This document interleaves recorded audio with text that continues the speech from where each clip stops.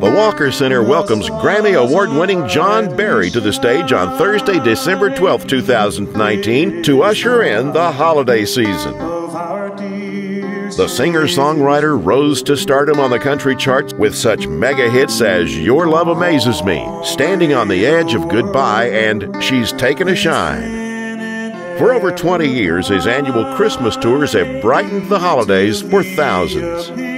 Bring in the holidays with John Berry on Thursday, December 12, 2019. This performance is sponsored by Carolina West Wireless.